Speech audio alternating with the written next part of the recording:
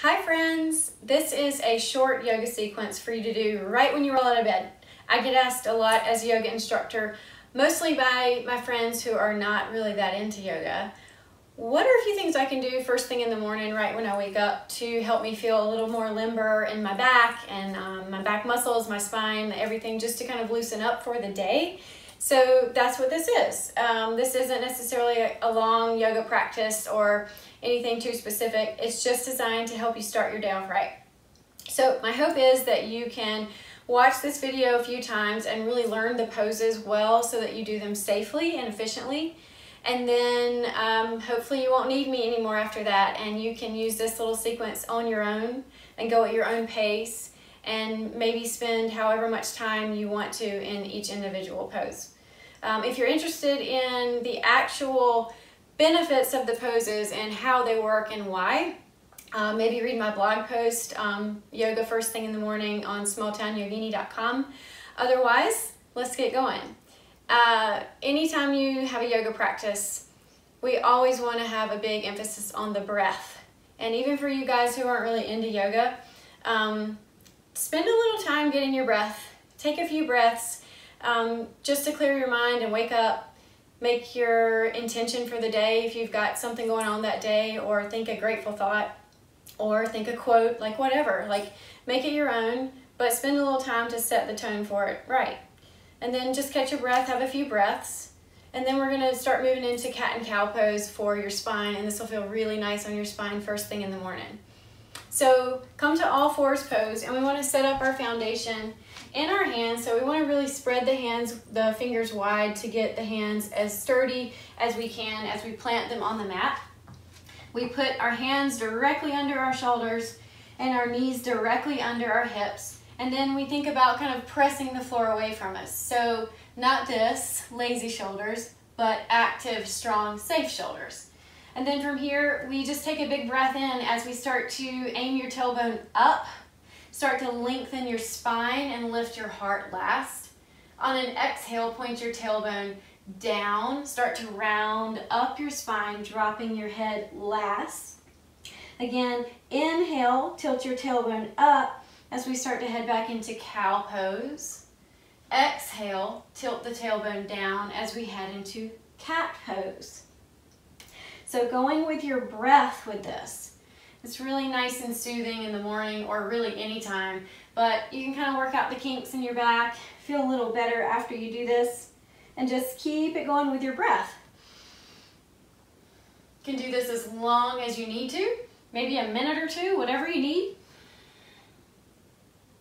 Make it fit you that day.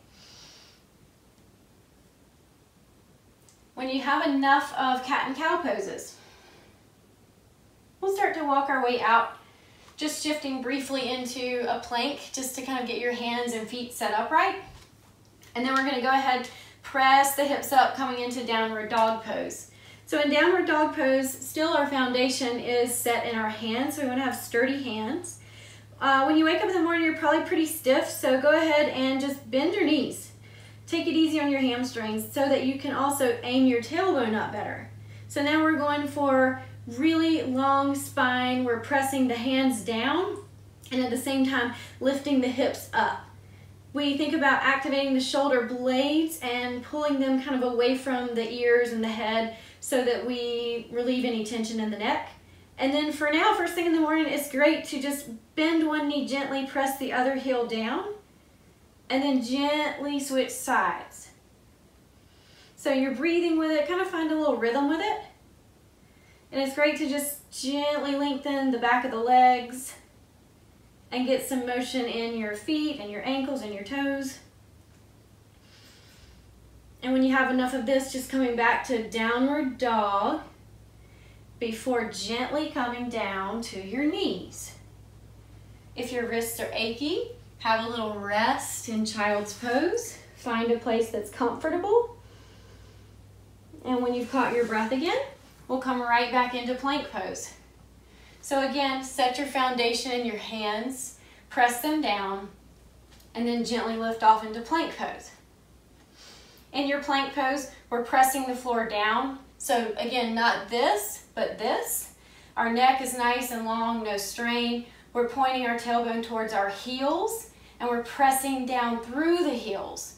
We're engaging the core, the back muscles, the legs, everything. Everything's working in your plank pose. Everything's making you stronger. So breathe with it. Deep breaths in and out. Find a place where you're challenged, but you're not going to get so out of breath, huffing and puffing. Take one more deep breath. Gently come down to your knees. Rest again if you need to, or just come up to a seated pose. So last couple things that I love to do for my back is find whatever comfortable position you want to. Make sure that you're on your hip bones so that you can sit up nice and tall. Shoulders are back and down. And again, just catch your breath. Have a couple deep breaths. Then we're gonna take this into moving throughout the spine um, with some twists and some lateral flexion so that you've moved your spine every way possible in a safe way right off the bat in the morning. So bring your hands to prayer pose. On your inhales, think about lengthening your spine, bringing your spine into neutral. So you're just normal. And on an exhale, we gently start to twist. We'll just kind of float the hands down and then eventually looking over the shoulder. On an inhale, come back to face the front. Lengthen, be neutral again. On an exhale, twist the opposite way. So we have a big emphasis on the inhales of bringing the spine back into neutral every time. We're just gonna flow with our breath. So on the inhales, come back to neutral. On your exhales, twist gently. You can think of your twists as a little spiral staircase. So you start at the bottom area and you work your way up. You always move your neck and your head last. That way you're making sure your low back is safe. So again, it's a neutral spine and then it's a gentle twist. And it's an inhale and an exhale.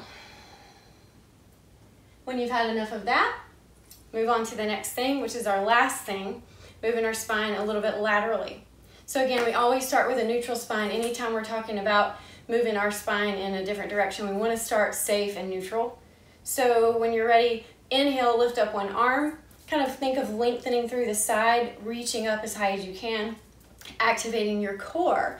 And then if you want to, having a little bit of a stretch as you reach overhead. So it's not a competition or uh, trying to see how far you can slump over. It's more of an active lengthening, reaching up through your side and just getting the gentle flexion in your spine. Then come back to neutral. Realign your spine, make sure it's nice and safe, and then do the other side. Again, we lengthen, we engage, and then we reach gently. And we're it's like you're trying to touch the ceiling. So it's an active lengthening the whole time. And then you can flow with breath on this if you want to. We can inhale, come up. Exhale, gently reach. Inhale, coming up.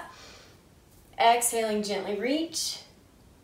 And do that as many times as you need to. Always finish catching your breath, thinking a grateful thought, and there you go. Have a good day.